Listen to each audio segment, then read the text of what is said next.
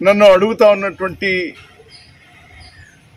ఈ అంశం మీద మాట్లాడమని మీరు అడుగుతా ఉన్నారు నన్ను. నా అభిప్రాయం ఏమంటే భారతీయ జనతా పార్టీ అనే ఆనకొండ కోరల్లో చంద్రబాబు నాయుడు గారు ఇరుక్కున్నారు అనేటువంటి నా అభిప్రాయం.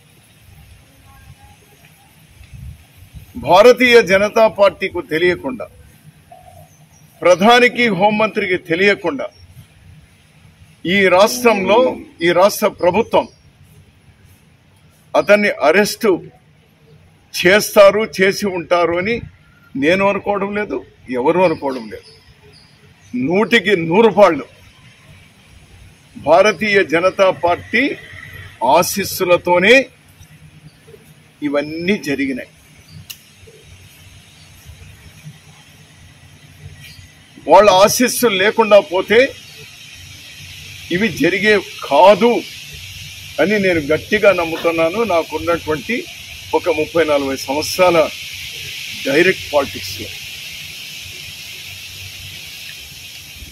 కారణం ఏమంటే ఈ రాష్ట్రంలో ఉన్నటువంటి కాంగ్రెస్ కమ్యూనిస్టులు తప్పనిస్తే మిగిలిన అన్ని పార్టీలు బీజేపీకు జీ హుజూర్ అనేటువంటి పార్టీనే. అది పాలకపక్షం కావచ్చు ప్రతిపక్షాలు కావచ్చు. అందరూ వాళ్ళతో వాళ్ళ ఆశీస్సుల కోసం సాగిలపడేటువంటి వారే.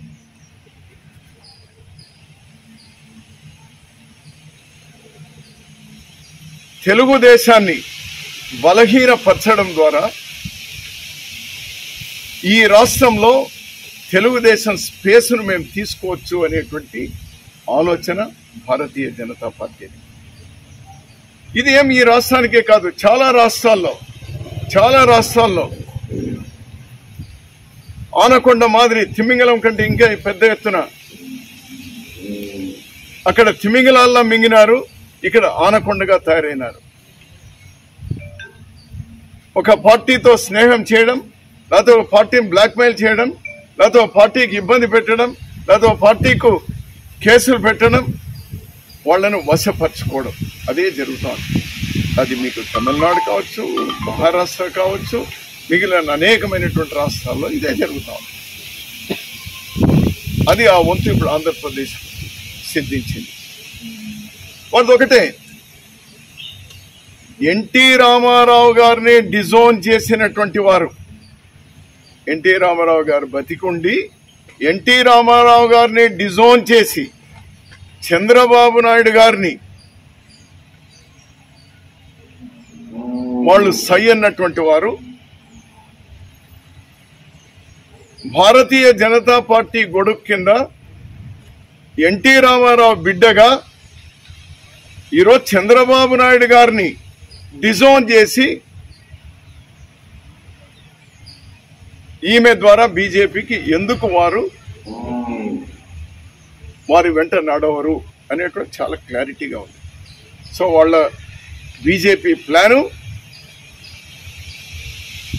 బలహీనపరచాలి బలహీనపరిచి ఈసారి వాళ్ళు ఓడిపోవాలి.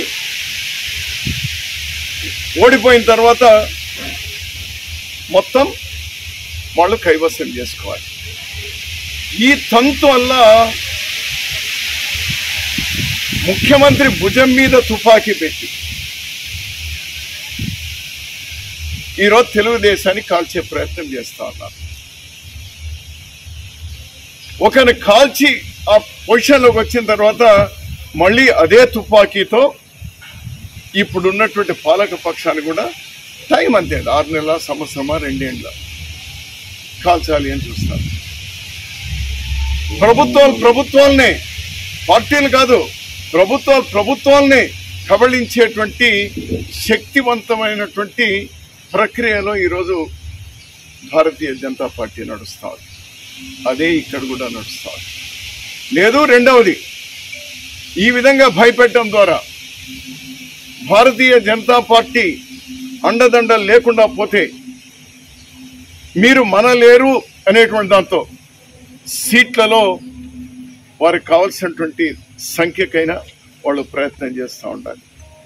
ఈ రెండిట్లో ఏదో ఒకటి జరగబట్టే ఆ ఉద్దేశంతోనే ఆ కుట్రతోనే ఇది జరుగుతా home minister Bharatiya Janata Party విసిరినటువంటి వలలో తెలుగుదేశం పార్టీ చంద్రబాబు నాయుడు పడ్డారు అనేటువంటిది ఇప్పటికైనా వాళ్ళు గమనిస్తే మంచిది.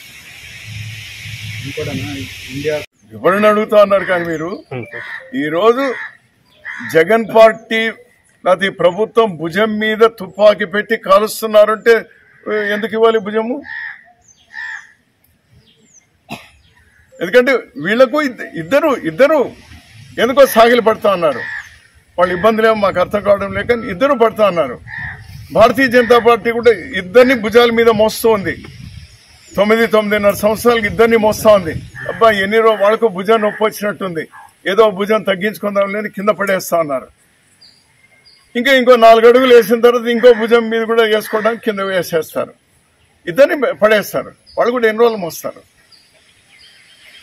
సో వీళ్ళ తెలివి మీద వీళ్ళు ఉండాల్సినటువంటి అవసరం అవసరం ఉంది.